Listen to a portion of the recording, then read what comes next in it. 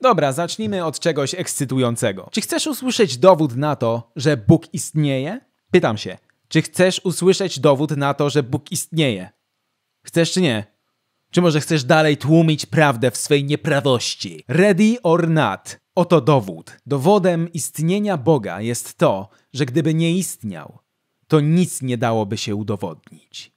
Zdziwko cię hapło, ha? He? Niekiedy się słyszy teksty typu Gdańsk to nie miasto, Gdańsk to stan umysłu. Podobnie jest tutaj. Apologetyka presupozycyjna to nie jest argument, to jest stan umysłu. I to yy, opłakany stan umysłu. David Benatar niekiedy mówi, że jeżeli chcemy być fair wobec jakiegoś filozofa, to winniśmy zapoznać się z całą konstelacją jego lub jej poglądów. I choć myślę, że można z czystym sumieniem powiedzieć, że apologeci założeń dzielą właśnie pewną konstelację poglądów, to ja myślę o niej yy, częściej jako yy, konstelacji talking pointów. Jeżeli się jest apologetą presupozycyjnym, od teraz będę mówił na nich presupy, to po prostu należy mówić pewne rzeczy. Mówić. E, refleksja nie jest wymagana. Apologetyka presupozycyjna.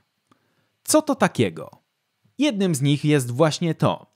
Jedynym dowodem pozycji chrześcijańskiej jest to, że o ile nie założymy wstępnie jej prawdziwości, to niemożliwym będzie dowiedzenie czegokolwiek. To właśnie zdanie zapisał w roku 1971 Cornelius Van Til, twórca apologetyki presupozycyjnej. Jego uczeń Greg Banson skrócił to później do Dowodem istnienia Boga jest to, że bez niego nie da się udowodnić nic. Około roku 2012 ruszyła strona provethatgodexists.org, która po jej odpowiednim, wymuszonym przeklikaniu mówi nam to samo. Więc co dokładnie ukrywa się pod tym zdaniem? Co to ma znaczyć? I co miałoby nas skłaniać do przytaknięcia takiej tezie? W tym miejscu należy wyjaśnić, czemu w nazwie apologetyka presupozycyjna pojawia się słowo presupozycyjna. Presupozycja w lingwistyce oznacza pewne ukryte, wstępne założenie, przedzałożenie, wbudowane,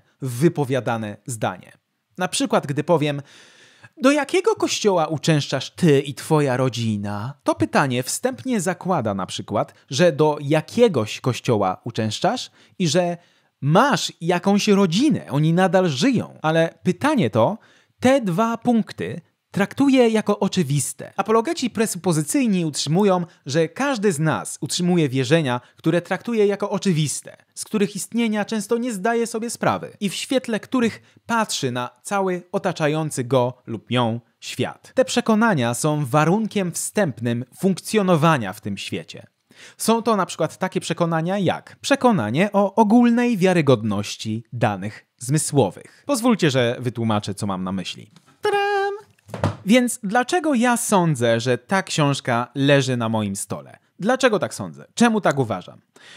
No, bo Widzę ją. I teraz można by zadać kolejne pytanie. Skąd wiesz, że to, co widzisz, to prawidłowa reprezentacja rzeczywistości? Skąd wiesz, że twój wzrok nie wprowadza cię w błąd? Jak wykluczyłeś możliwość, że twój wzrok prezentuje przed tobą kompletnie błędny obraz tego, jak jest naprawdę? No i teraz można by się odwołać do innych zmysłów, chociaż jak zaraz zobaczymy, nie zaprowadzi nas to bardzo daleko. Na przykład, kiedy biorę tą książkę do ręki, to w dokładnie tej chwili, kiedy widzę, że ją biorę, w tej chwili też czuję, kinetycznie, czuję na skórze moich palców, że rzeczywiście mam z nią kontakt. Jeżeli zrobię to wystarczająco głośno, to nawet to usłyszę. I te dane zmysłowe płynące z receptorów na skórze, jak i z uszu, one dają obraz idealnie spójny z tym, co dostaję od moich oczu. Więc dane zmysłowe z dotyku i ze słuchu są dokładnie takie, jakich bym oczekiwał, gdyby mój wzrok działał poprawnie. Haha, super! Ha, dałem radę, uzasadniłem wszystko. Nie? Wszystko jednak da się potwierdzić. Nie. Nie da się. Bo na tym etapie należy po prostu zadać następne pytanie. Gdyby wszystkie zmysły naraz dostarczały ci fałszywych informacji, gdyby każdy ze zmysłów dawał ci dane, które są na przykład symulowane przez komputer, a nieprawdziwe, to skąd mógłbyś to wiedzieć? Gdybyś był jak Neo w filmie Matrix, przed przebudzeniem, uwięziony w komorze pełnej jakiegoś gluta, ale był podłączony non-stop do komputera, który karmi cię fałszywymi bodźcami, fałszywymi wrażeniami na temat świata, to jak mógłbyś to odkryć? Lub jak mogłabyś to odkryć? Czy każda percepcja zmysłowa, którą kiedykolwiek przeżyłaś lub przeżyłeś, nie mogłaby po prostu być wytworem komputera? A jeżeli tak, jeżeli mogłaby być, to co sprawia, że sądzisz, że nie jest? My wszyscy zakładamy pewne rzeczy. Ich jest mnóstwo tak naprawdę. Są to takie rzeczy jak wiarygodność dedukcji, wiarygodność indukcji, istnienie innych umysłów, istnienie świata zewnętrznego, wiarygodność naszych zmysłów, to, że istnieją przyczyny i skutki, to, że istnieje prawda i fałsz, to, że zachowujemy swoją tożsamość w czasie. To są nasze założenia wstępne, lub krótko, przedzałożenia. I moim zdaniem zakładamy je bez najmniejszego uzasadnienia. I tyczy się to wszystkich ludzi chodzących po planecie Ziemi. Pomysłem, jaki mają presupy, jest to, żeby pomiędzy te wspólne dla wszystkich ludzi założenia wstępne, założenia umożliwiające w ogóle rozumowanie, wprowadzić dwa nowe założenia. Po pierwsze, założenie, że Bóg istnieje. Po drugie, że Biblia to objawienie od tego Boga. Co więcej, presupy twierdzą, w podobny sposób do tego, który, w który ja przed chwilą twierdziłem, że wszyscy ludzie na Ziemi te przekonania utrzymują, y, Presupy twierdzą, że wszyscy ludzie wiedzą, że Bóg istnieje. Stanisław Sylwestrowicz mówi: No dodam tylko, że wszyscy wiemy, że Bóg istnieje, więc nie musimy tego dowodzić. Właściwie to wiedzą nawet, który Bóg istnieje. Biblia mówi, że wszyscy wiedzą, że Bóg istnieje i nie mają żadnej wymówki za grzech przeciwko niemu. Nawet ludzie, którzy wysławiają innego Boga, znają prawdziwego Boga. Nie będą mogli powiedzieć: Oj, ja myślałem, że Allah jest prawdziwy, chyba byłem w błędzie. Nie, ty znasz prawdziwego Boga. Teraz część z Was sobie pomyśli: Ale chwila, bo y, jakby. y, ja nie uważam, że Bóg istnieje. Cóż, w takim razie o to, co sądzą o tobie presupy. Ateista nie potrzebuje na dowodów na istnienie Boga. To jest znowu nasz błąd. Ateista mówi, daj mi dowody na Boga. Nie ma przekonujących dowodów dla mnie, że Bóg istnieje. Gdzieś się schował. On kłamie. To jest główny fragment, który powinniście zapamiętać z tej części. Albowiem gniew Boży z nieba objawia się przeciwko wszelkiej bezbożności i nieprawości ludzi, którzy przez nieprawość tłumią prawdę. Czyli oni tłumią prawdę. Ponieważ to, co o Bogu wiedzieć można, jest dla nich jawne, gdyż Bóg im to objawił. Tak naprawdę Biblia mówi, że nie ma ateistów. Są tylko bałwochwalcy, którzy wiedzą, że Bóg istnieje, tylko wolą czcić stworzenie zamiast Stwórcy. Jak łatwo zauważyć, żeby w ogóle być presupem, to trzeba wdrapać się na pewien Everest przesądności i dogmatyczności. Jeżeli presup ma przed sobą zadanie, żeby się dowiedzieć, co ty myślisz na temat istnienia bądź nieistnienia Boga, to preferuje wyczytać z Biblii, co ty sądzisz na ten temat, niż zapytać ciebie, co ty sądzisz na ten temat. Gniew Boga jest objawiony, a wiedza o Bogu jest w głębi serca każdej osoby. Oni tłumią tą prawdę w swej nieprawości. Więc kiedy presupowi przychodzi wyjaśnić, czemu ateiści dookoła twierdzą, że oni ani nie sądzą, ani nawet nie skłaniają się ku tezie, że Bóg istnieje, to Presup zaczyna twierdzić, że ateista się samo oszukuje, wypiera wiedzę o istnieniu Boga, tłumi prawdę. Jak pewnie zauważyliście, jak na razie to w ogóle nie brzmi jak argument, a co dopiero dowód. Na razie Presup zadeklarował nam, że on uważa, że Bóg Biblii istnieje i że ateiści też tak sądzą, tylko twierdzą, że tak nie sądzą. To nie jest argument, to bardziej brzmi jak bełkot osoby, która jest tak dogmatyczna, że wpadła w dziurę swojego dogmatu i teraz nie jest w stanie się z niej wydostać. Ale to nie wszystko. Wiemy już, w jakim sensie apologetyka presupozycyjna jest presupozycyjna. A teraz dowiemy się, w jakim sensie jest to apologetyka. Słowo apologetyka oczywiście oznacza obronę wiary. Presupy często utrzymują, że obrona wiary przez prezentację argumentów ateiście, takich jak argument kosmologiczny, argument z inteligentnego projektu i tym podobne, to coś w rodzaju bluźnierstwa, ponieważ prezentacja takich argumentów ateiście stawia tego ateistę w roli sędziego. To nie jest tak, że teraz my sędziemu ateistycznemu dajemy jakieś dowody na usprawiedliwienie Pana Boga i on się mieni sędzią nad Panem Bogiem, którego posadził na ławie oskarżonych. Nie, I co, teraz ateista będzie siedział jak jakiś księciunio na swoim tronie i spoglądał na te argumenty wierzących i mówił: O, ten mi się nie podoba, ten mnie nie przekonuje, a tutaj bardzo się starałeś, ale nadal nie jestem przekonany. Nie, presup nie może do tego dopuścić. To zakładałoby autonomię ludzkiego umysłu. To zakładałoby, że grzeszny, nienawrócony umysł jest w stanie sam dochodzić do prawidłowych wniosków. A temu wszystkiemu Presup zaprzecza. Presup wie, że to Bóg jest suwerennym władcą, Bóg jest sędzią, a nienawrócony, tak zwany ateista, bo oni ostatecznie nie wierzą w istnienie ateistów, winien znać swoje miejsce. Gdzieś tam no dole wszyscy są grzeszni, total depravity i te sprawy, nie? Jak mówi 1 Piotra 3,15, zadaniem apologety jest w pierwszej kolejności w swoim sercu uświęcić Chrystusa jako Pana, a dopiero potem udzielać odpowiedzi tym, którzy żądają uzasadnienia. Ale jeżeli, jak głosi presupowa teza, ateista nie potrzebuje przekonujących argumentów, bo już i tak sądzi, że Bóg istnieje, to e, co jest, co jest celem apologetyki presupozycyjnej? No bo nie przekonywanie przecież. Nie mylcie sukcesu apologetycznego z tym, czy udało wam się przekonać swojego oponenta. Powiem wam coś, co może zabrzmieć zaskakująco, ale to prawda. Bóg nie powołał was do zmieniania ludzkich serc. Wiecie, czemu Bóg tego nie zrobił? Bo to nie leży w waszej mocy. Wy nie możecie w żaden sposób pomóc ludziom pogrążonym w grzechu i buncie, ludziom duchowo martwym. Tylko Bóg może to zrobić.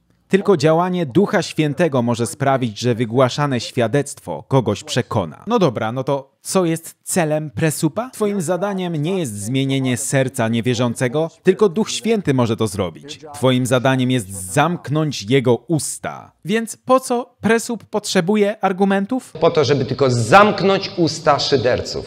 Twój cel to uciszyć głupca. Twoim celem jest uciszyć głupca, a to, co stanie się z jego sercem, o tym zdecyduje Bóg. Ach, nie wspomniałem. Presupy uważają, że ateiści to głupcy. Oczywiście dlatego, że tak Biblia mówi. Głupi rzekł w sercu swoim. Nie ma Boga.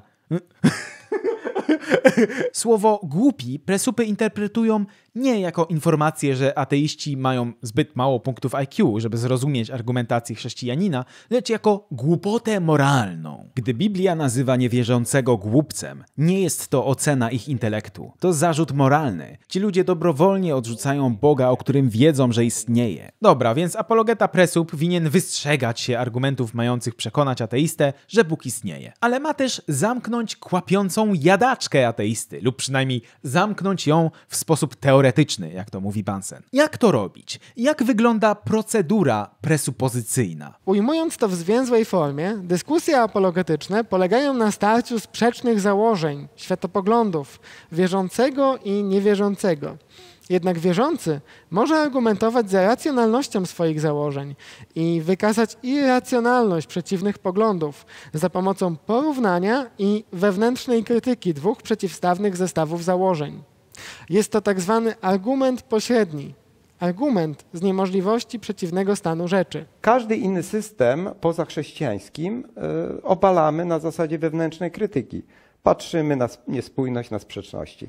A chrześcijaństwo jest tylko jedynym, który pozostaje na polu walki, który wyczerpująco wyjaśnia całość rzeczywistości. Więc argumentacja presupa ma polegać na krytyce wewnętrznej. Wewnętrznej?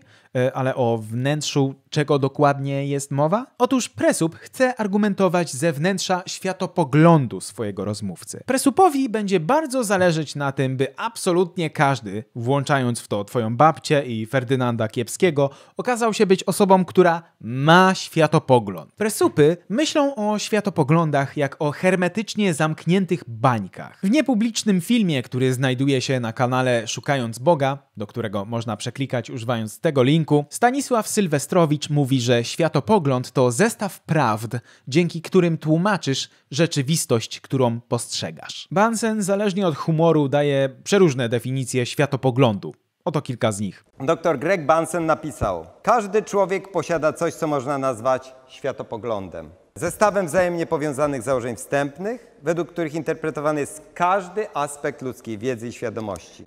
Oto definicja tego, co rozumiem przez światopogląd. Światopogląd to system wzajemnie powiązanych przedzałożeń, niemożliwych do przetestowania przez naukę przyrodniczą, z punktu widzenia których wszelkie doświadczenie jest relacjonowane i interpretowane. Światopogląd. Fundamentalne przekonania o rzeczywistości, wiedzy i zachowaniu ludzkim. Więc pytam, który światopogląd który system przedzałożeń o rzeczywistości, wiedzy i etyce sprawia, że doświadczenia ludzkie są zrozumiałe. Sylwestrowicz i Prończuk łażą z taką planszą, która wygląda jakby jej celem było ułatwienie im roboty wrzucania rozmówców do którejś z szuflad światopoglądowych, które oni sami wytworzyli, a następnie pewnie jakieś zaaplikowanie tym ludziom jakiejś generikowej refutacji ich światopoglądu. Nie? Jednym z dogmatów nowej religii presupów jest to, że nikt nie jest neutralny. Myth of neutrality. Greg Bunsen głosi dobrą nowinę o micie neutralności. Jego najważniejszy przekaz na temat neutralności, który kazał swojej klasie powtarzać, to tak jest, oni nie są neutralni i ty też nie powinieneś być. Według presupów nie istnieje żadne neutralne światopoglądowo miejsce, na którym można stanąć, by ocenić, czy jeden czy drugi światopogląd to ten słuszny. Neutralność nie istnieje.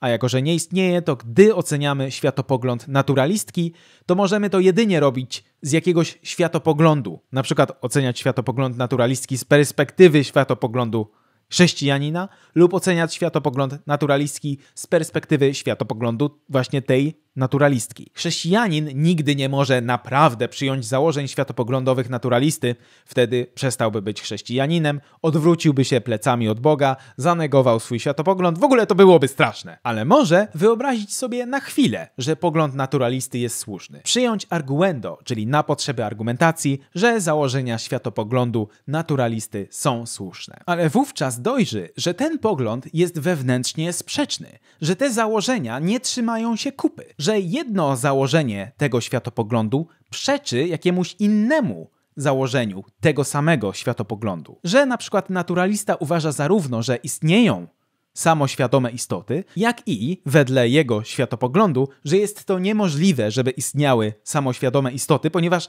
żaden proces w naturalnym świecie nie mógłby doprowadzić do powstania samoświadomości. Nie każcie mi tego uzasadniać. To jest jeden z argumentów Bansena. Mało tego, Presup głosi, cytując Vantila, jest to całkowicie irracjonalne, by utrzymywać inną pozycję niż chrześcijaństwo. Jak mówią presupy, albo Bóg, albo absurd. Ale to jest jedyny dylemat. Albo uznasz Boga, albo wszystko redukuje się do absurdu. Jeżeli nie uznajesz Boga, to ty nic nie wiesz, nie masz żadnej wartości, jesteś nikim. Nie masz w ogóle z czym podchodzić.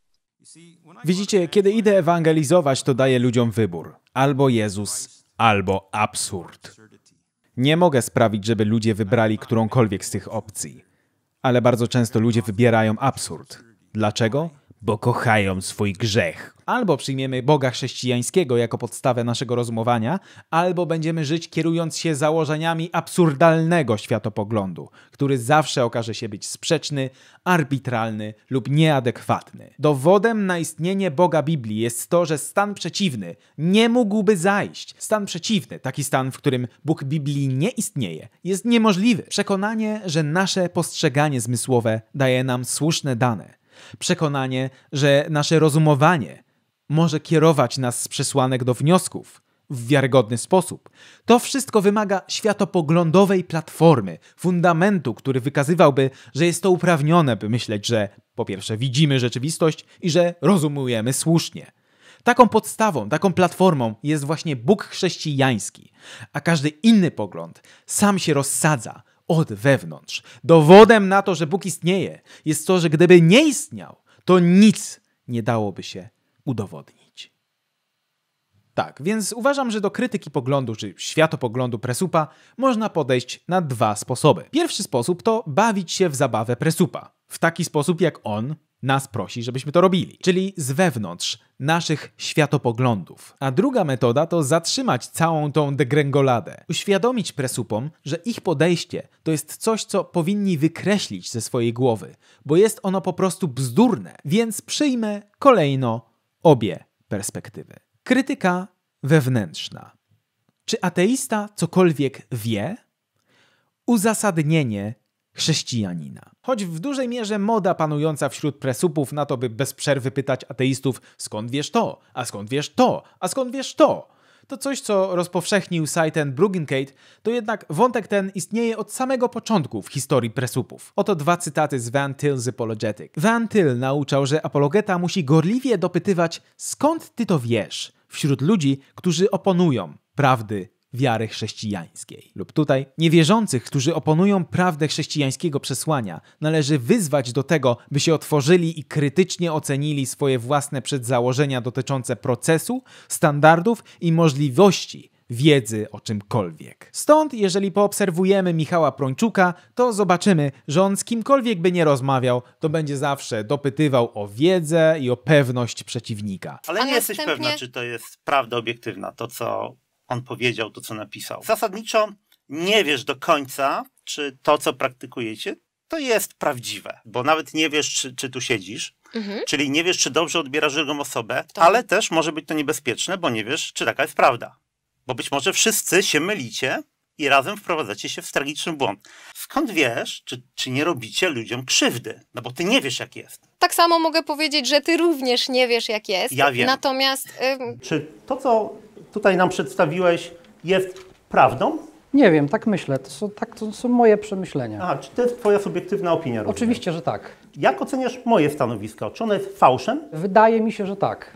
Ale wydaje ci się tylko. Oczywiście, że mi się Czyli wydaje. jest możli- możliwe, że jest prawdziwe. Oczywiście, że jest możliwe, że jest prawdziwe. Jak myślisz, po co nam świadomość? Nie mam pojęcia. Tak samo podejrzewam, nie wiesz, po co nam poczucie wolności. Nie jesteś pewien, że to jest prawidłowa reakcja. Przedstawiłeś nam tutaj jakiś pogląd na Biblię. Czy myślisz, że dobrze ją rozumiesz? Że to, co przedstawiłeś, było prawidłowe? Myślę, że tak. Myślę, że gdybym uważał, że rozumiem ją błędnie, to bym pomówił coś innego. Okej, ale też nie jesteś tego pewien. Oczywiście, że nie jestem tego pewien.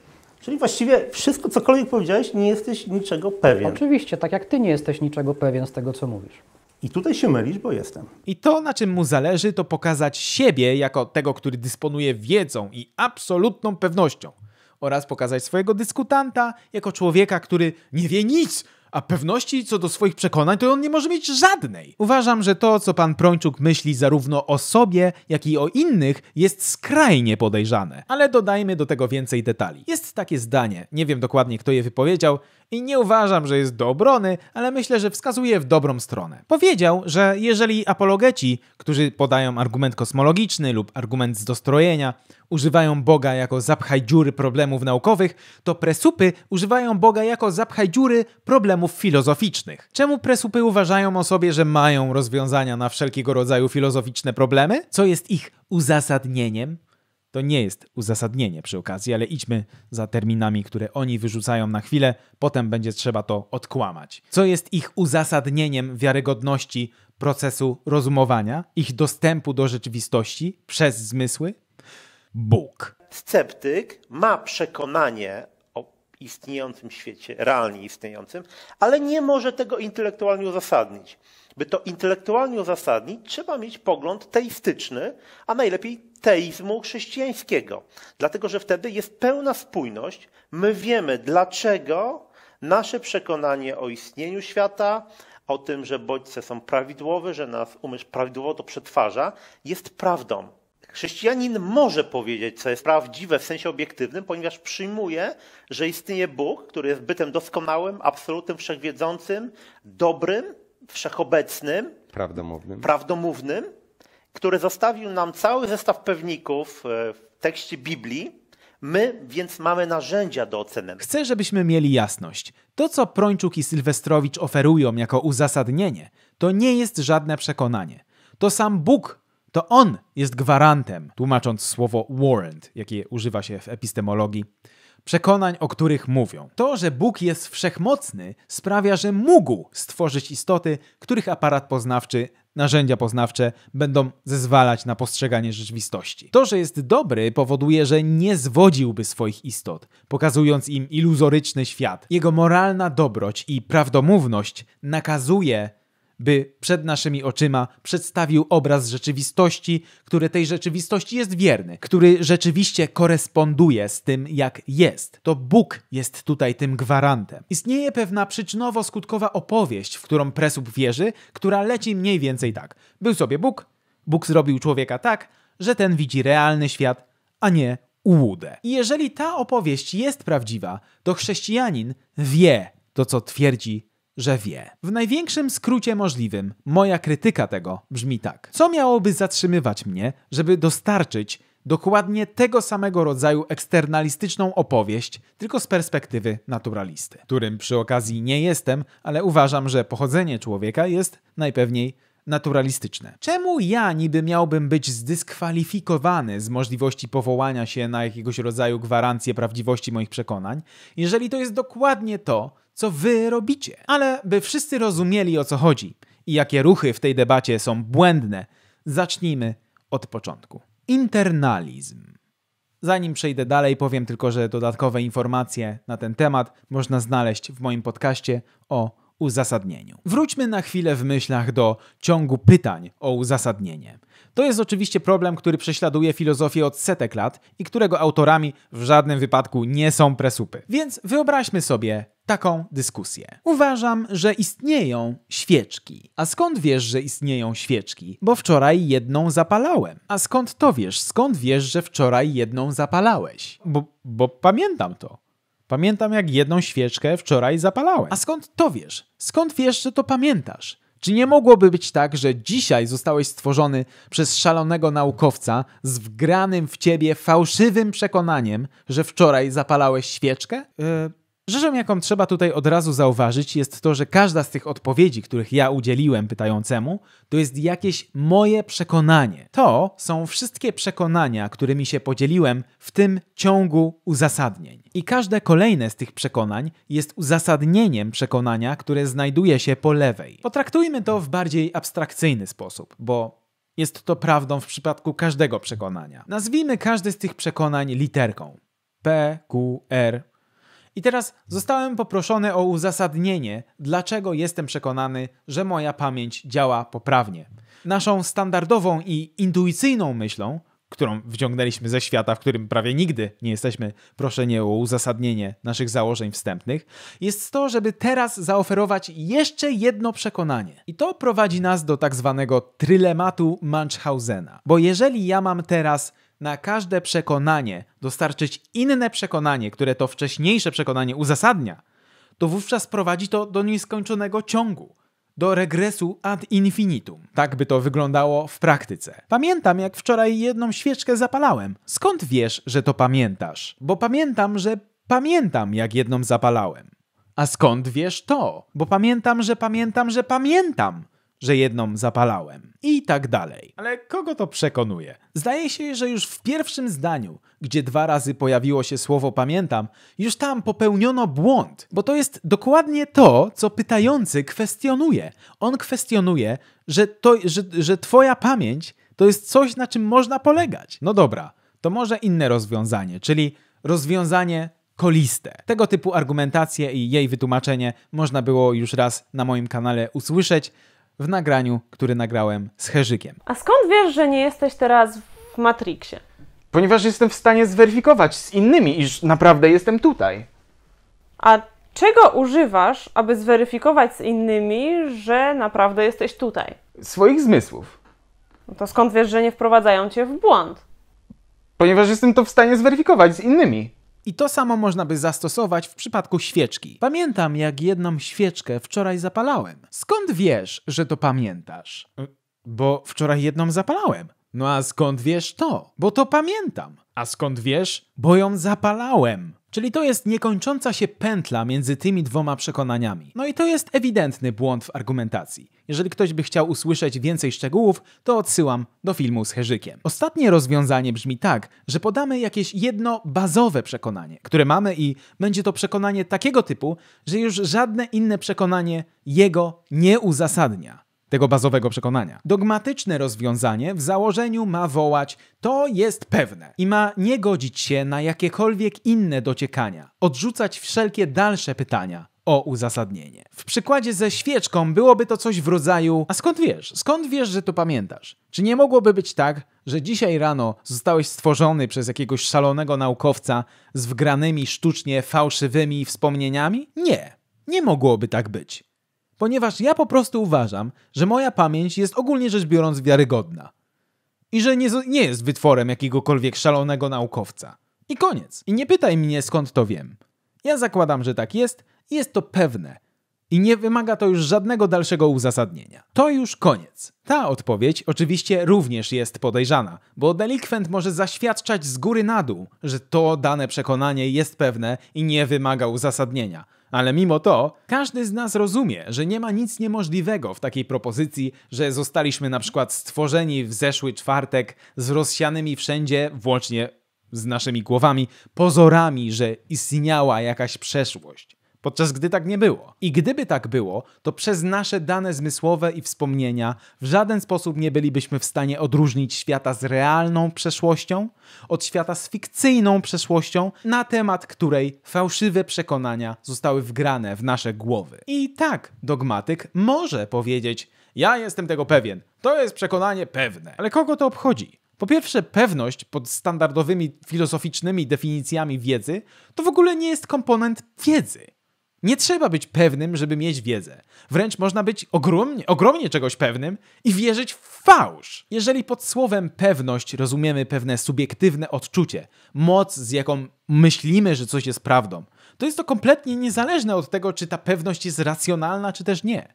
I czy wskazuje na prawdę, czy też nie. Ja mogę mieć ogromną pewność, że wszystkie sneakersy są świadome i nie lubią, jak je zjadamy. No i co z tego? W jaki sposób to niby ma pomagać? I uważam, że wniosek z tego jest taki, że każda z tych trzech odpowiedzi zawodzi i na żadną z nich nie powinniśmy stawiać.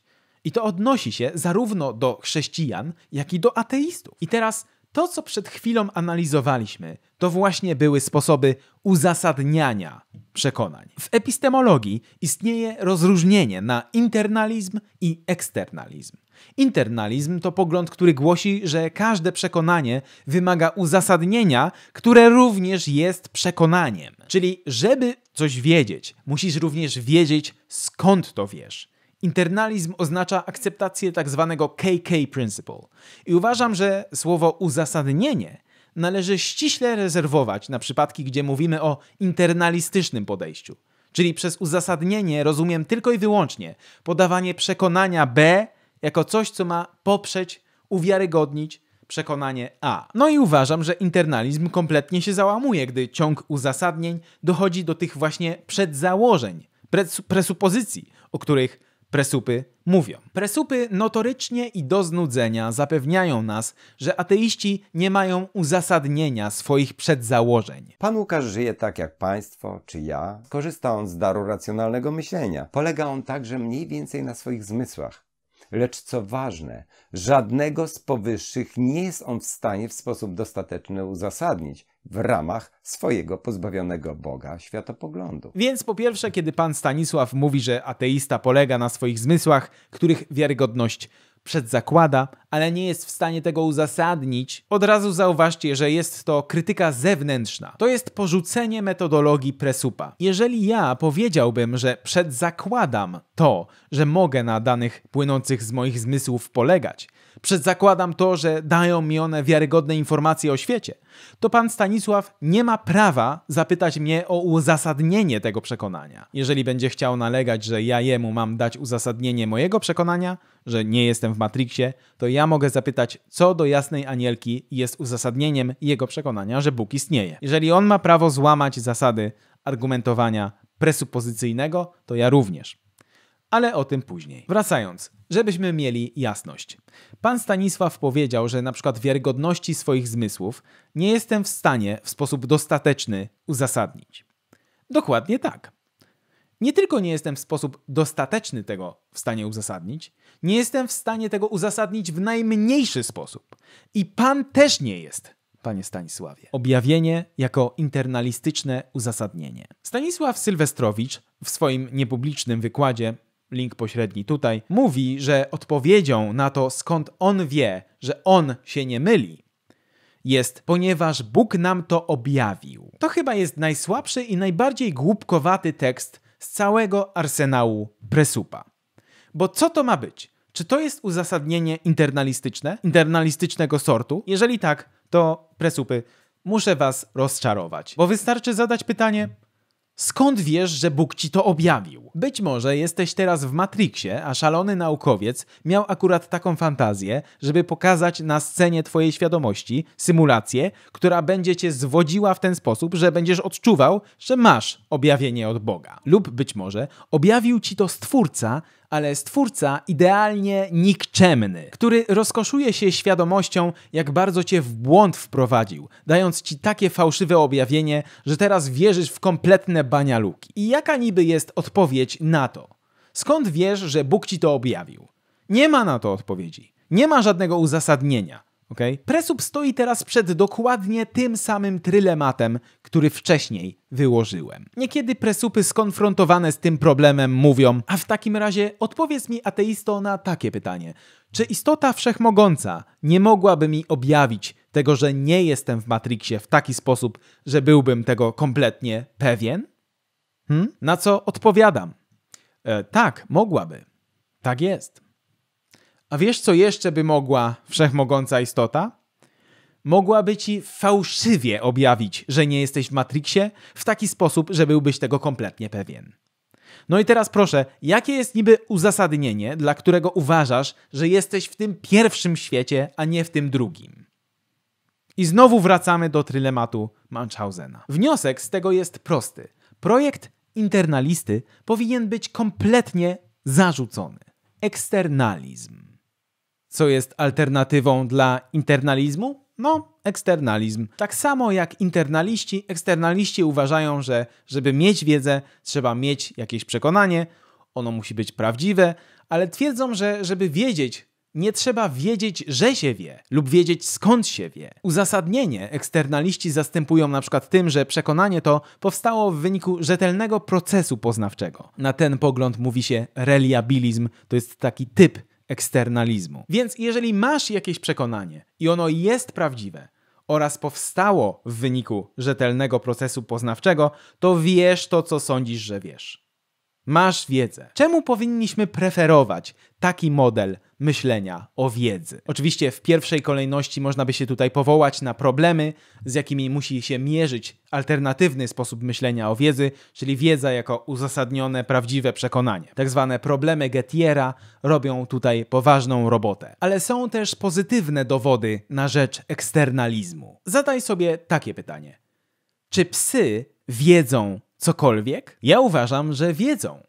Wiedzą na przykład, kiedy w ich misce jest woda, a kiedy nie. Ale przecież psy nie są w stanie uzasadnić tego ani jakiegokolwiek przekonania. Innym standardowym przykładem jest tutaj ta praca seksera kurcząt, acz nigdy nie sprawdzałem tego wystarczająco, żeby, żeby wiedzieć, czy to jest legitne, czy nie. Ale lubię przykład w postaci ludzi, którzy mają słuch absolutny. Ci ludzie są w stanie, używając słuchu wyłącznie, rozpoznać, jaką z 12 nut zagrałeś. Na przykład zaśpiewasz im a oni powiedzą, o, to była nuta D albo coś takiego. I jeżeli zapytasz ich, skąd oni to wiedzą, to oni nie mają najmniejszego uzasadnienia na to. Co nie zmienia faktu, że ich skuteczność bywa bliska 100%. Ci ludzie często mówią, że to jest tak, jakby spytać ich, skąd wiedzą, że ten kolor jest niebieski. Oni po prostu mają w sobie prawie niezawodny detektor częstotliwości dźwięku. Inny przykład. Gdy ojciec grafika o imieniu Bert Pooley zachorował na chorobę Alzheimera, był w stanie rozpoznać Berta jako swojego syna, ale nie był w stanie przypomnieć sobie jakiejkolwiek sytuacji, z której wnioskuje, że to jest jego syn. Czy on wiedział, że to jest jego syn Bert? Jeżeli twoja odpowiedź jest twierdząca, to znaczy, że akceptujesz eksternalistyczną teorię wiedzy. Akceptujesz, że wiedza może być prawdziwym przekonaniem, które jest wynikiem rzetelnego procesu poznawczego. Więc jeszcze raz, eksternalista nie uważa, że żeby posiąść wiedzę, należy mieć uzasadnienie swojego przekonania który jesteś w stanie z siebie na życzenie kogoś wydusić. Najstarsza, platońska definicja wiedzy głosi, że wiedza to uzasadnione, prawdziwe przekonanie. Eksternalista warunek uzasadnienia wymienia na obowiązek istnienia pewnych zewnętrznych warunków, które przywiązują przekonanie danej osoby do faktów. Warunków, które zapewniają, że przekonanie jest wywołane przez odpowiedni stan rzeczy. I jeżeli to przekonanie powstało na drodze odpowiedniego procesu i jest prawdziwe, to dana istota posiada wiedzę. Uzasadnienie versus wyjaśnienie. I teraz przyszedł czas na to, żeby sprecyzować i oddzielić dwa kluczowe koncepty, czyli uzasadnienia, tego co Anglicy nazywają justification, oraz wyjaśnienia, wytłumaczenia, tego na co Anglicy mówią an account. Anglicy mówią o tym, że ktoś dostarcza wyjaśnienie. He provides an account. He gives an account of something. Co to jest internalistyczne uzasadnienie? No to o tym już wspomnieliśmy. Przez uzasadnienie rozumiem podawanie takiego przekonania, które jest powodem dla którego mielibyśmy sądzić, że inne przekonanie jest słuszne. Ale jak wspomnieliśmy, eksternaliści są raczej zainteresowani tym, czy przekonanie zostało nabyte na drodze rzetelnego procesu poznawczego. Więc co mogłoby być takim rzetelnym procesem poznawczym? No, pozwólcie, że zademonstruję. Ja uważam o sobie, że wiem, że jest tutaj mikrofon. Wiem to. Gdybyś mnie spytał skąd to wiem, to powiedziałbym, bo widzę go. Jest właśnie tutaj. I wy też macie świetne uzasadnienie, by sądzić, że ja tutaj w pokoju mam mikrofon. Bo widzicie go. I teraz ktoś zarówno natrętny, jak i zainteresowany filozofią yy, przechodzi przez moje drzwi i pyta, a skąd wiesz, że to co widzisz odzwierciedla rzeczywistość? Może jesteś w Matrixie? Nie? Na co odpowiadam? Tak, jeżeli jestem w Matrixie, to nie wiem tego, co sądzę, że wiem. Ale jeżeli jest tak, że w realnym świecie istnieje realne źródło światła i że światło to odbija się od mikrofonu i przechodzi przez moją rogówkę i następnie moja soczewka skupia światło, które pada na siatkówkę i nerwy i receptory odbierają ten, odbierają ten sygnał i światło jest przetwarzane w impulsy nerwowe, które lecą do mojego mózgu, a w moim mózgu tworzy się reprezentacja świata zewnętrznego i reprezentacja ta uwzględnia mikrofon, który rzeczywiście tu jest, to wiem to, co uważam, że wiem. I to właśnie było wyjaśnienie, wytłumaczenie tego, na czym miałby polegać proces poznawczy, który wywołuje u mnie przekonanie, że widzę tutaj mikrofon. Jeżeli ten proces wywoływania we mnie przekonania działa poprawnie, to mam wiedzę. Wiem. Teraz należy rozważyć, co tego typu wyjaśnienie daje i kto takiego potrzebuje. Pies jest w stanie zobaczyć wiewiórkę i biec w odpowiednią stronę, jeżeli chce ją złapać. Czy pies potrzebuje wyjaśnienia działania swojej drogi wzrokowej, tego typu, jakiej właśnie udzieliłem, by być w stanie wiedzieć, gdzie jest ta wiewiórka? Nie, oczywiście nie. Ludzie w średniowieczu też nie mieli pojęcia, jak działa ludzkie oko, a mimo to widzieli, gdzie są ich zbroje, konie i tak. Człowiek nie musi w ogóle znać wyjaśnienia tego, jak działają jego procesy poznawcze, żeby mieć wiedzę. Naukowe zrozumienie tego, jak działa nasz mechanizm poznawczy, jeżeli chodzi o wzrok, okazało się być bardzo przydatne, jeżeli chodzi o okulistykę na przykład. Więc poprawianie naszego komfortu życia to jest super. Ale co daje takie wytłumaczenie, jeżeli chodzi o epistemologię? No, bardzo mało. Po pierwsze, zauważcie, że tego typu wyjaśnienie nie ma najmniejszego potencjału przekonywania. W naszym ćwiczeniu miałem odpowiadać na pytanie, skąd wiem, że nie jestem w Matrixie. I zauważcie, na co ja się powołuję, gdy yy, daję to wyjaśnienie. Światło odbija się, przechodzi przez moją rogówkę, pada na siatkówkę itd. Przecież wiedza o wszystkich tych rzeczach to jest coś, co ja pobrałem w tym być może symulowanym świecie. Jeżeli szalony naukowiec zamknął mnie w komorze i może wysyłać do mojego mózgu jakąkolwiek tylko zapragnie symulację, to może mnie też karmić fałszywymi informacjami na temat działania lub nawet istnienia oczu. Jakiekolwiek uczenie się faktów o drodze wzrokowej i próba zrozumienia jej działania, to wszystko jest wykonane przy użyciu wzroku i przy użyciu rozumu. Jeżeli powoływałbym się na zmysły i rozum, by uzasadnić zmysły i rozum, to byłoby to w jawny sposób koliste i dlatego błędne rozumowanie. Ok, łatwo zauważyć, że to wyjaśnienie działania oka, jakie ja podałem, właściwie opisuje głównie metodę działania oka. Jej celem nie jest powiedzenie, czemu jeżeli to byłoby prawdą, to zapewniałoby to dobre rezultaty w zbieraniu prawdziwych informacji o świecie przez wzrok. Presupy często takie wyjaśnienia oferują i chwała im za to. Uważam, że tak właśnie należy robić. Należy stawiać na eksternalistyczne wyjaśnienia. I ich wyjaśnienie leci właśnie tymi torami, jakie Prończuk przed nami roztaczał wcześniej. Czyli w rzeczywistości istnieje dobry, idealnie sprawiedliwy, wszechmogący, wiedzący, obecny Bóg. Bóg prawdomówny, Bóg, który ceni prawdę i nie chce, by zmysły istot, które stworzył, wprowadzały te istoty w błąd. I ten Bóg jest niezmienny. Bóg stworzył świat dla tych istot i te istoty dla świata, w tym sensie, że będą one do niego dopasowane. Ich aparat poznawczy jest właśnie po to przez Boga uczyniony, żeby były w stanie ten świat postrzegać i o nim rozumować. I teraz pomyśl, jeżeli ta cała historyjka jest prawdą, to oczywiście, że człowiek będzie miał wiedzę i będzie mógł rozumować poprawnie o realnym świecie, który jest dookoła niego. Problem tylko w tym, że taką historyjkę jest podać bardzo łatwo. Fantazja jest od tego, żeby bawić się na całego. Każda religia może zaproponować swoją własną historyjkę tego typu która będzie pocieszać i klepać po pleckach wierzącego, który chciałby się utwierdzić w przekonaniu, że zmysły go nie zwodzą. Mało tego, naturalistka również jest w stanie to zrobić, lecz jej historyjka będzie oparta o dane naukowe, co powiedziałbym, że jest sporą korzyścią. Posłuchajcie tego. Otóż istnieje rzeczywistość, w której po wielkim wybuchu zaczęły się formować gwiazdy. Dyski akrecyjne, potem planety. Jedną z tych planet była Ziemia, na której powstało życie. Oczywiście powody tego były chemiczne i fizyczne. Były to niekierowane przez jakikolwiek umysł procesy. Na drodze ewolucji ostatecznie wyewoluowały organizmy, które były w stanie, do pewnego stopnia, sprawować kontrolę nad tym, gdzie się znalazły i przez to unikać niebezpieczeństwa, znaleźć pożywienie. Oczywistą korzyścią z perspektywy ewolucji byłaby umiejętność rozpoznawania granic swojego własnego ciała.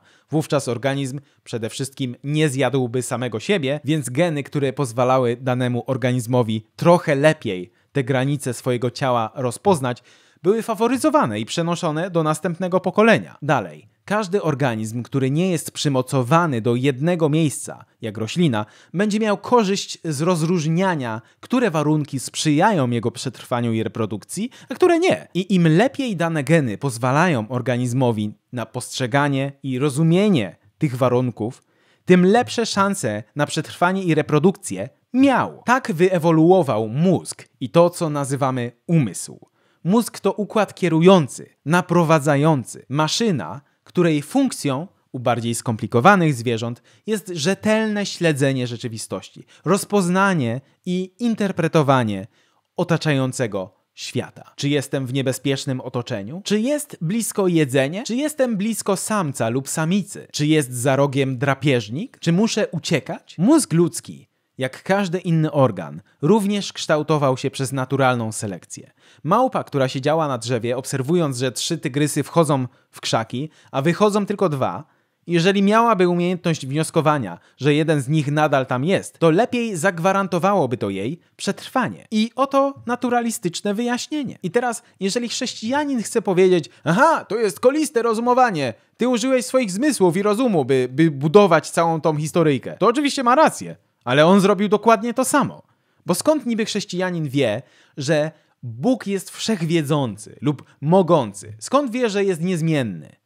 Skąd wie, że Bóg jest prawdomówny. Wie to z zobaczonej wzrokiem Biblii lub usłyszanych słuchem kazań. Jego historyjka również jest oparta o wcześniej rejestrowane dane zmysłowe. I oczywiście, gdy tylko zaczniemy studiować naukowe dowody, a nie spekulacje starożytnych ludów, to okaże się, że pogląd chrześcijanina Młodosiemskiego jest po prostu fałszywy. Więc podsumowując, uzasadnienie swoich przedzałożeń to coś, czym żaden z tych lub jakichkolwiek światopoglądów nie dysponuje. A wyjaśnienie, jakie może zaoferować chrześcijanin, jest równie dobre, co wyjaśnienie naturalistki. Być może można by powiedzieć, że chrześcijański pogląd obiecuje więcej, że naturalistka wierzy w niższy, bardziej zwierzęcy status rozumu ludzkiego. Ale to są zwykłe pobożne życzenia. Nie jest najmniejszy powód, by preferować jeden pogląd nad drugim. Równie dobrze można by wymyślić trzeci światopogląd, który miałby jeszcze bardziej pocieszające mniemanie o ludzkim rozumie. Na przykład takie, że kiedyś w dalekiej przyszłości po śmierci każdy z nas będzie wszechwiedzący. To nie jest najmniejszy powód, żeby sądzić, że taki światopogląd to prawda. Presup zapomina o presupozycjach.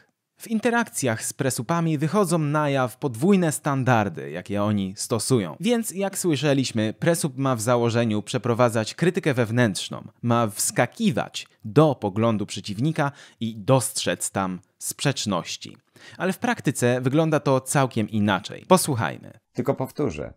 Pan Łukasz nie ma w ramach swojego światopoglądu żadnych podstaw, by zakładać cokolwiek, co zakłada. Sceptyk ma przekonanie istniejącym świecie, realnie istniejącym, ale nie może tego intelektualnie uzasadnić. Więc pan Sylwestrowicz domaga się, bym przedstawił podstawy, by zakładać to, co zakładam. Podstawy dla założeń mojego światopoglądu. Pan Prończuk prosi o intelektualne uzasadnienie przekonania o realnie istniejącym świecie. Super, super. No to, mm, panowie, pozwólcie, że was zapytam. Jakie intelektualne uzasadnienie macie na rzecz waszego przekonania, że Maryja poczęła, będąc dziewicą?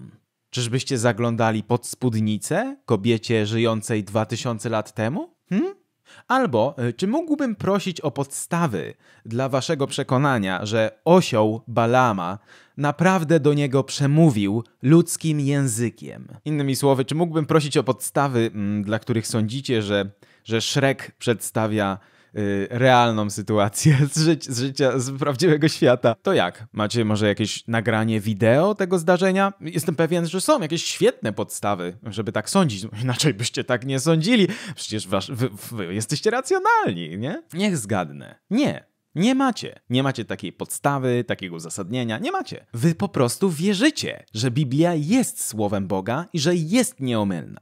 A gdybym prosił o uzasadnienie intelektualne tego przekonania, to powiedzielibyście, że to jest jedno z waszych przedzałożeń. Czyżbyście zapomnieli? O to chodzi w apologetyce presupozycyjnej, że człowiek ma presupozycje, założenia wstępne, przedzałożenia, przekonania podstawowe, które już ich się już niczym nie uzasadnia. Jak to mówi Bunsen, gdyby coś było ich uzasadnieniem, to tamta rzecz byłaby tym przedzałożeniem. Nie rozumiecie? Te przedzałożenia to jest punkt startowy. To jest to, od czego się zaczyna. Nie ma nic wcześniejszego przed punktem startowym. Nie, punkt startowy to jest ten pierwszy i koniec. Jak mówi Bunsen, przedzałożenia są utrzymywane przez wiarę. Więc przedzałożenia to nie jest coś, co można zweryfikować dzięki metodzie naukowej, bo nauka sama ma swoje przedzałożenia. Ale w takim razie nasze najbardziej podstawowe przedzałożenia są utrzymywane przez wiarę. Każdy po prostu ma wiarę. Więc zagrajmy teraz w waszą grę. Niniejszym oświadczam, że te oto przekonania to moje założenia wstępne. Przy okazji założę się, że są jeszcze jakieś inne, dodatkowe, które po prostu nie przyszły mi teraz do głowy, lub które e, w całym życiu nie przyszły mi jeszcze do głowy, ale gdyby mi ktoś wytłumaczył, w jaki so sposób są one konieczne do, do tego, żeby w ogóle zacząć rozumowanie i w jaki sposób nie da się już ich niczym uzasadnić, to po prostu dodałbym je do mojej listy przedzałożeń. Więc to nie jest ostateczna lista. Ale jeżeli wy możecie się poczęstować taką ilością przedzałożeń, jaką tylko dusza zapragnie, to ja również mogę. I każde pytanie o podstawę i uzasadnienia tych przekonań mogę zbywać tekstem typu to jest petitio principi przeciwko mojemu światopoglądowi. W moim światopoglądzie przedzakładam, że istnieje naprawdę świat rzeczywisty i że moje zmysły mają do niego dostęp. A jeżeli będziecie prosić mnie dalej o uzasadnienie tych przekonań, to ja zacznę domagać się, byście dostarczyli uzasadnienie, dla którego sądzicie, że wersety z Biblii, które ja sobie wybiorę, naprawdę sprawozdają historyczne zdarzenia. I uprzedzam, że żadne śmiechu warte teksty typu y, o, ta sprzeczność nie działa, więc cała Biblia jest nieomylna. No, zresztą ja, ja chyba nic nie muszę mówić na ten temat. O kruchości światopoglądów. Presupy lubią myśleć o sobie jako takich apologetach twardzielach, z mięśniami, nie? Pewnego dnia William Lane Craig zapytany o to, czy jest pewien, że Bóg istnieje, odpowiedział: Czy jesteś pewien, że Bóg istnieje? Nie! No, no! I presupy uważają to za wielką ujmę i śmieją się z niego, że jakże to tak można mówić, przecież to jest absolutnie pewne, że Bóg istnieje. Nie? Cóż za słabeusz, powinien był dokopać i powinien powiedzieć, że to jest niemo- wszystkie inne poglądy są niemożliwe. Ale jest na odwrót. To presupowe podejście jest podejściem słabym, które nie za bardzo ma potencjał do wykonywania jakiejkolwiek zmiany przekonań. Procedura presupowa dyktuje, że należy znaleźć sprzeczność w światopoglądzie przeciwnika. Więc po pierwsze, jeżeli chcesz być uczciwy w swoim wytykaniu sprzeczności oponentowi, to należy precyzyjnie wymienić, co jest tym twierdzeniem oraz jego negacją, pod którą twój oponent się podpisuje. Presupy robią to prawie nigdy. co już sporo o nich mówi. Ale załóżmy, że robiliby to zawsze i że krytyka presupów byłaby słuszna, że te sprzeczności rzeczywiście by się tam znajdowały. Okay? Pytanie brzmi, czemu miałby być to powód porzucenia swojego światopoglądu? Najczęściej będzie to po prostu wezwanie do tego, by wziąć się do intelektualnej roboty i uczynić swój światopogląd spójnym. Ja na przykład nie uważam, że kiedy chrześcijanin zobaczy jedną sprzeczność w swoim światopoglądzie, a uważam, że jest tam takich dziesiątki, jeżeli taką znajdzie, to nie uważam, że powinien spojrzeć na, na, ten swój wcześniejszy światopogląd z odrazą i wyrzucić go do kosza jak najszybciej, jak jakiś robaczywy, zgniły owoc. Nie. Jeżeli znajdzie jedną sprzeczność w swoim światopoglądzie, to najbardziej racjonalnym zachowaniem będzie y, pomyśleć, które z tych dwóch twierdzeń należy poddać. Nie? P czy nie P, które, y, pod którym należy przestać się podpisywać. Przykład, który teraz przychodzi mi do głowy, to ten wiesz, standardowy człowiek z ulicy, któremu powiemy, że, mm, co jest prawdą przy okazji, że świnia ma podobne, jeżeli nie, nie większe, y, umiejętności intelektualne co pies, a jednak świnie jedzą, mm, a psów nie jedzą. Wręcz y, uważają to za, za, za po prostu koszmar, żeby ktoś y, skonsumował psa. No i teraz mm, skąd ten podwójny standard? Pytamy taką osobę. No i oczywiście ten konflikt można rozwiązać w obie strony. Można przestać się skarżyć na jedzenie psów i zabijanie ich na cele mię- y, po prostu zbierania mięsa, lub można rozwiązać tą sprzeczność tak, że nie będziemy godzić się na mm, złe traktowanie i zabijanie na mięso jakiegokolwiek z tych zwierząt. Prosta sprawa. Presup chyba by chciał, żebyśmy po prostu rzucili, nie wiem, tak skrzewili się i się pomodlili, skonfrontowani ze sprzecznością w naszym światopoglądzie i przyjęli Pana Boga do serca. Przepraszam.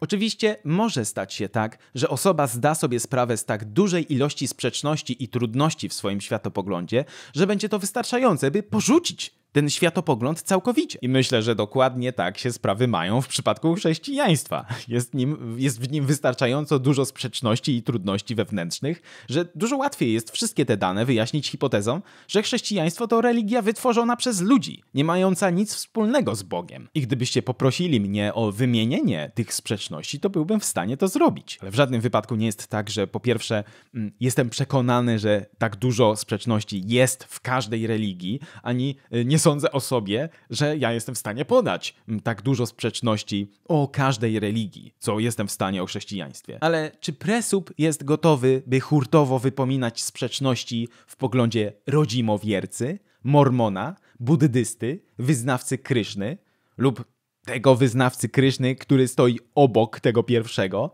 bo światopoglądy po prostu nie są identyczne w, w, jednym kościele. Żeby być gotowym na takie hurtowe wypominanie sprzeczności, Presup musiałby przed rozmową z kimkolwiek wykuć na blachę założenia światopoglądu przeróżnych światopoglądów, właściwie wszystkich, nawet tych hipotetycznych, jak się potem okaże, i do tego, nie wiem, z 10 sprzeczności, jakie można znaleźć w każdym z nich? Czy presupy dysponują czymkolwiek takim?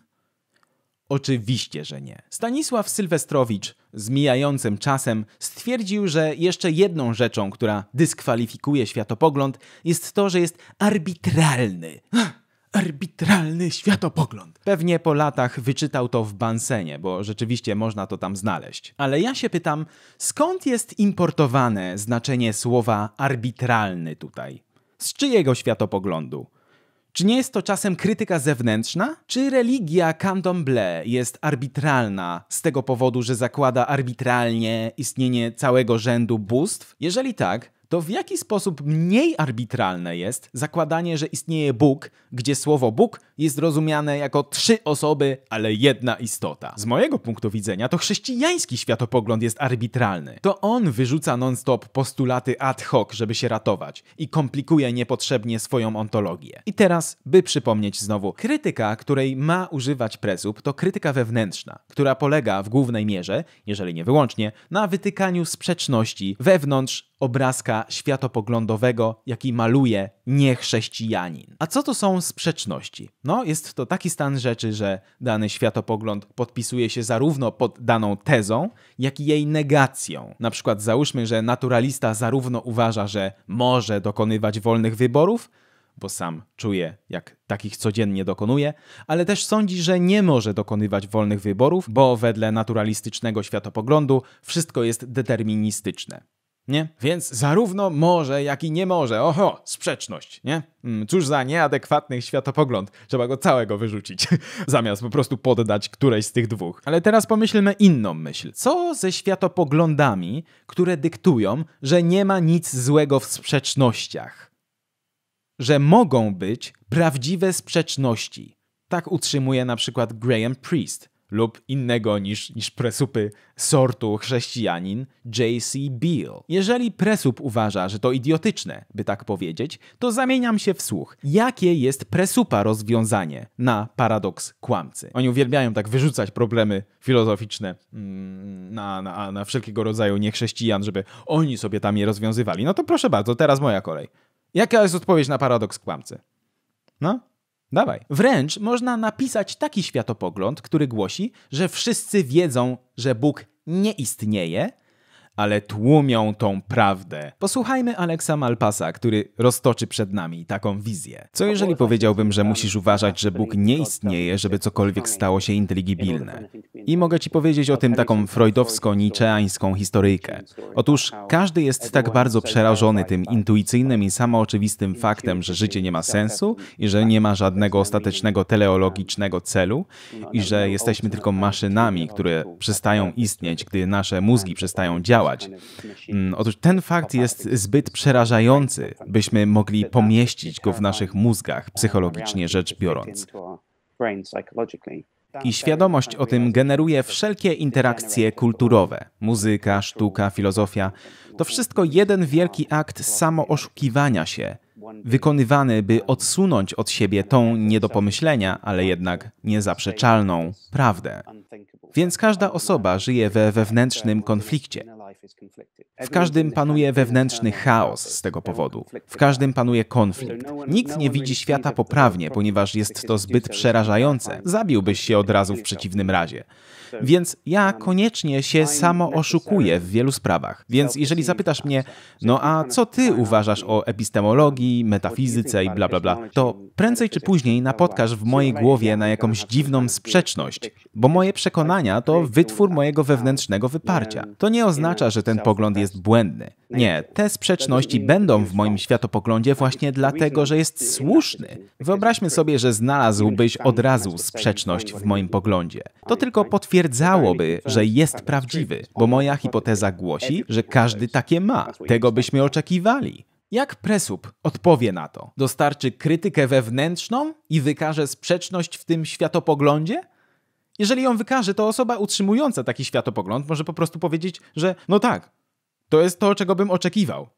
Nie jest to najmniejszy problem dla mojego światopoglądu. Natomiast pogląd Presupa jest według mnie zobowiązany co do niemożliwości istnienia sprzeczności oraz sam takie sprzeczności zawiera, jak na przykład sprzeczność pomiędzy tym, że Bóg zmienia zdanie, jak i jest niezdolny do zmiany zdania, lub sprzeczność pomiędzy bezczasowością Boga, a jego czynieniem czegokolwiek, lub żeby być jeszcze bardziej klarownym, nieczynieniem czegokolwiek oraz czynieniem czegoś. No to który światopogląd tu wygrywa? I jeszcze jedna, ostatnia myśl na temat światopoglądu presupów. Pamiętacie jak pan Michał i pan Stanisław wymieniali cechy Boga, spośród których jedną z nich była Boża prawdomówność?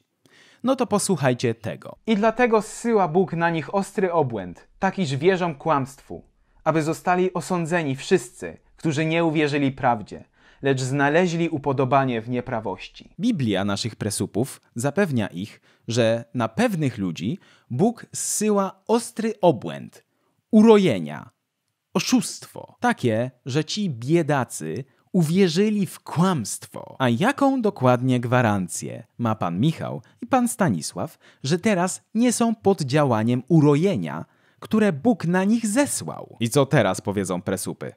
Że ja źle interpretuję Biblię?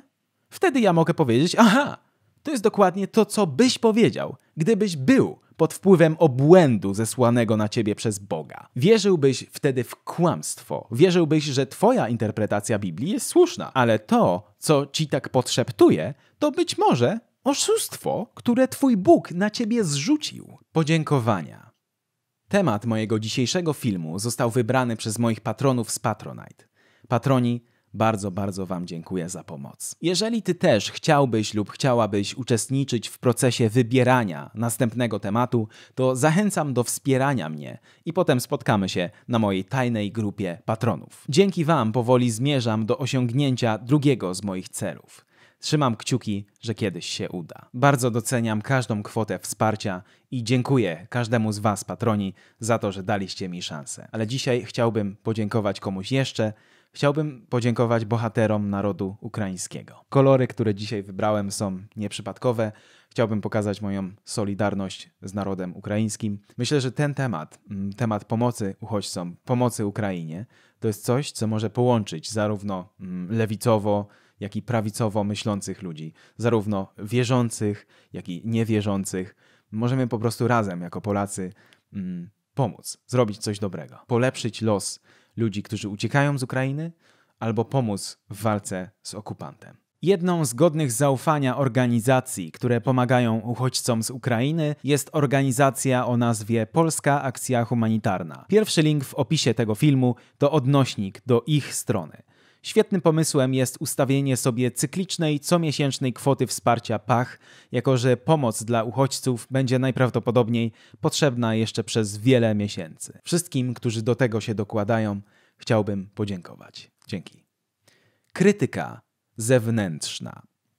Mit neutralności Obraz tego, co ukrywa się pod słowem światopogląd, który sprzedają presupy, to coś, co kompletnie do mnie nie przemawia. To znaczy, mogę się zgodzić, że nie ma ludzi, którzy nie przyjmują żadnych założeń wstępnych, ale te założenia wstępne właśnie typowo są czymś dzielonym przez wszystkich ludzi i są czymś neutralnym. Poleganie na swojej pamięci, przekonanie, iż istnieją inne umysły, przekonanie, że dedukcja i indukcja prowadzą nas do słusznych wniosków, przekonanie o realności postrzeganego świata to wszystko są przekonania, w które praktycznie wszyscy wierzą. Niezależnie od religii. Presupy absolutnie uwielbiają nalegać, że jeżeli my utrzymujemy jakieś ważne dla nich przekonanie, które oni też utrzymują, to podbieramy lub pożyczamy lub nawet kradniemy z ich światopoglądu. Ateista, jeśli chce prowadzić badania naukowe, uznawać wartość i wyjątkowość życia ludzkiego, musi zapożyczyć od chrześcijan na przykład definicję moralności, dobra, e, zła, założenie o istnieniu obiektywnych, niematerialnych praw w fizyce, założenie, że, że prawa przyrody w przeszłości zachowywały się w stały i niezmienny sposób i będą zachowywały się w przewidywalny sposób. Ateista po prostu pożycza nasz światopogląd, żeby móc w ogóle polemizować i atakować teizm. Dlaczego? Bo jakiekolwiek argumentowanie zakłada istnienie wiedzy, praw logiki i prawdy.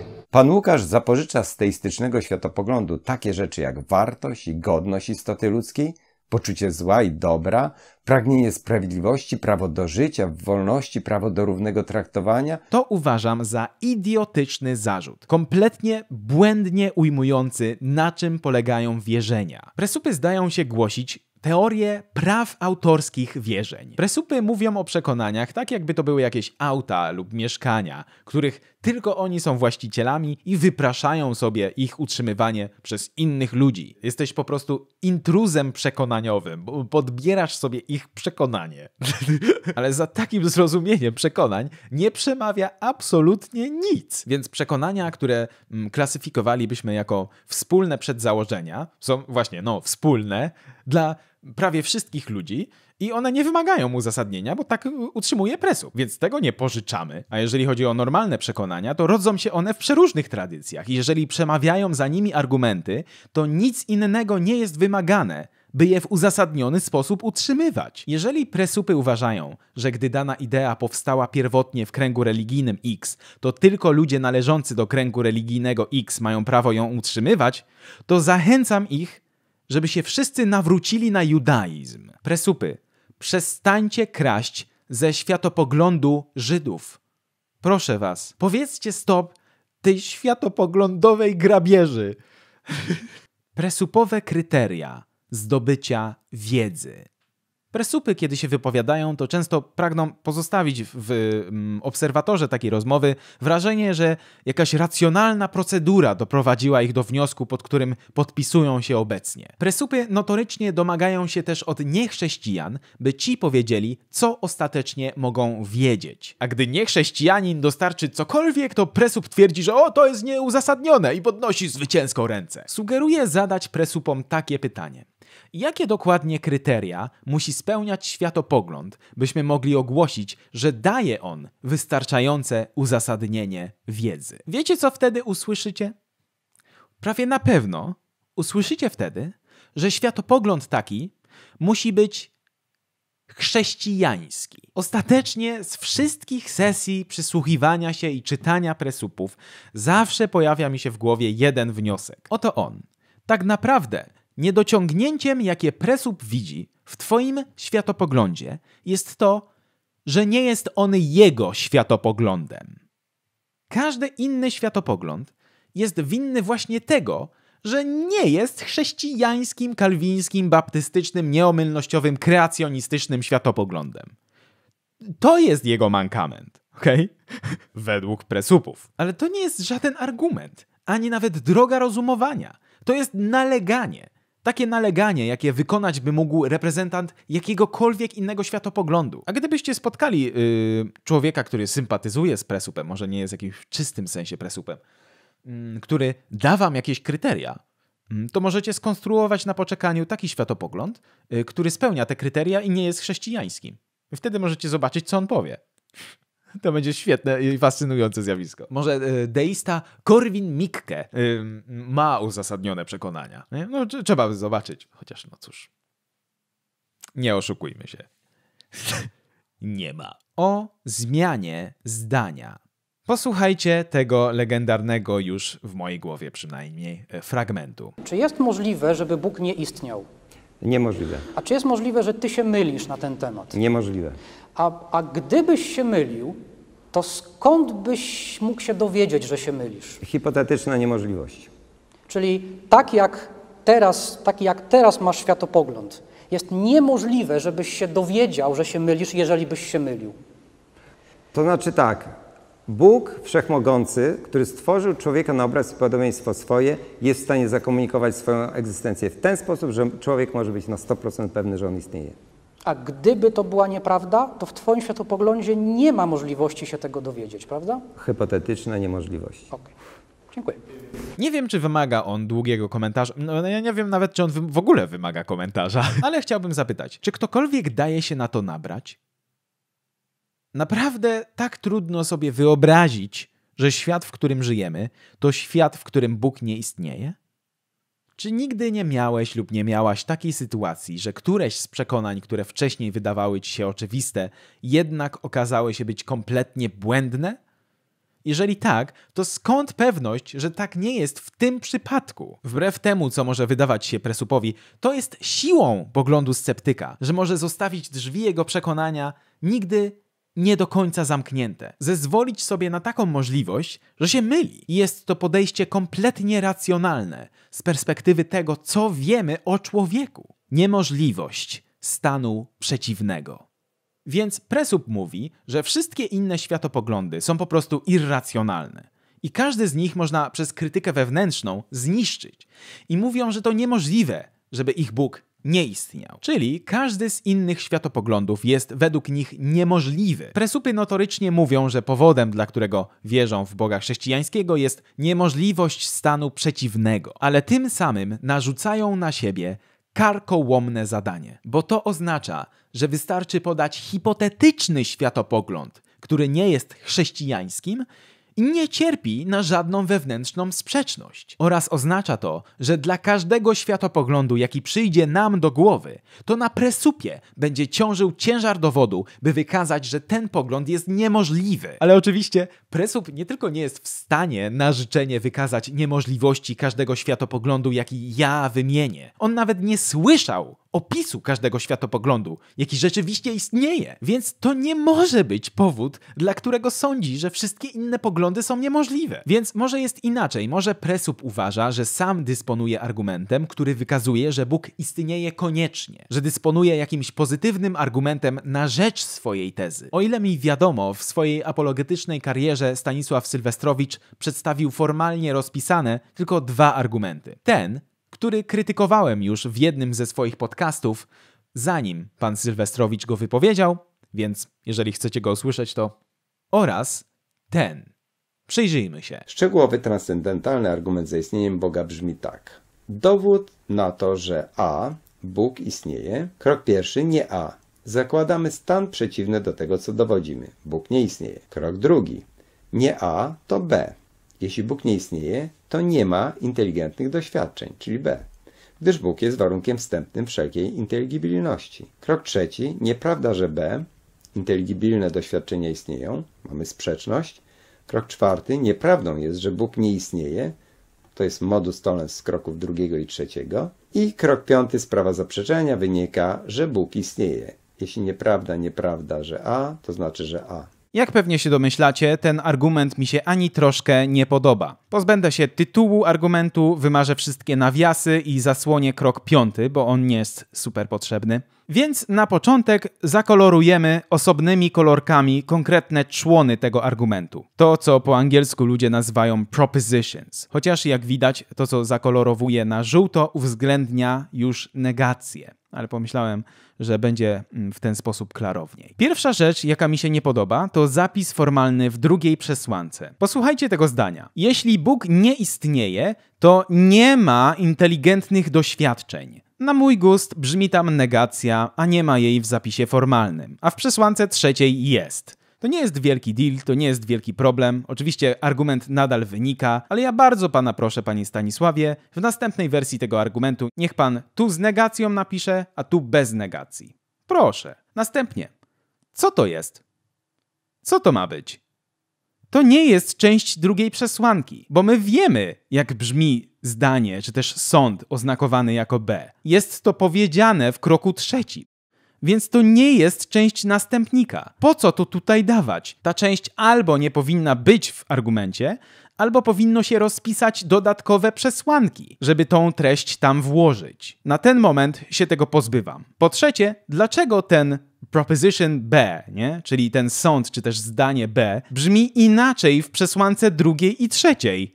Dlaczego? Powinno się wybrać jedno brzmienie i utrzymywać je przez cały argument. Bo inaczej widz taki jak ja musi się dopiero domyślać, że inteligentne doświadczenie, cokolwiek to jest, to to samo co inteligibilne doświadczenie, cokolwiek to jest. I powstaje pytanie, co to ma znaczyć inteligibilne? Zakładam, że ma to mieć takie znaczenie jak w mowach i tekstach Bansena. Czyli pytamy, czy ludzkie doświadczenie, postrzeganie, nastroje jest sensowne. To sensowne też jest niejasne, no ale dobra. W ramach jakiegoś światopoglądu. Więc jak prosi nas Bansen, bierzemy to, co my ludzie robimy i w co wierzymy, a potem pytamy, czy to jest sensowne z jakiejś tam podyktowanej perspektywy? On mówi, does it make sense of human experience? Czy nasze doświadczenie jest zrozumiałe z tej perspektywy? Strasznie mi się nie podoba takie nieprecyzyjne wyrażanie się, no ale dobra. A pan Stanisław tutaj mówi, jeżeli Bóg nie istnieje, to nie ma inteligentnych,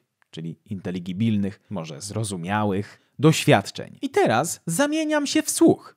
Dlaczego ja niby miałbym tak sądzić? Jeżeli odpowiedź brzmi, gdyż Bóg jest warunkiem wstępnym wszelkiej inteligibilności, to pytam, a czemu miałbym sądzić to? I przy okazji wiem, że ruchem, który presupy lubią wykonywać na tym etapie, jest przesuwanie ciężaru dowodu. I naleganie, że przez to, że ateista tak powiedział, to ateista okazuje, jak się okazuje, ateista utrzymuje, że to nieprawda, że Bóg jest warunkiem wstępnym wszelkiej inteligibilności. Takie naleganie to błąd. Uważam, że ateista może utrzymywać, że to możliwe, że Bóg jest warunkiem wstępnym wszelkiej inteligibilności oraz to możliwe, że nim nie jest. To presup ma wykluczyć tą drugą możliwość. Żaden ateista nie musi być w tym samym pokoju z presupem, by presup miał swoje poparcie, swoje uzasadnienie na rzecz drugiej przesłanki, czy też drugiego kroku, jak to y, pan Sylwestrowicz nazywa. Podsumowanie. Podsumowując, istnieje podejrzenie, że te wykazywanie sprzeczności w cudzych światopoglądach, które niby ma być procedurą presupa, jest kompletnie fasadowe. Jest wypowiadane tylko po to, by po wypowiedzeniu swojego dogmatu chrześcijanin presup miał jeszcze dalej jakieś słowa do wypowiedzenia. Czy to, co utwierdza presupa w jego przekonaniu, że chrześcijaństwo jest prawdziwe, to fakt, że przeszedł przez wszystkie inne światopoglądy i rozpisał, w jaki sposób każdy z nich jest niemożliwy? Nie, nie, nie. Mówienie o tym, że każdy niechrześcijański światopogląd jest sprzeczny, jest zwykłą rekomendacją, którą pewnego dnia Van Til z siebie wyrzucił, a apologeci połknęli to jak pelikany. Van Til po prostu gadał takie rzeczy, że we must show, y, że ich światopoglądy są y, sprzeczne. Ale we must show, czyli co? Odkryłeś, że tak jest?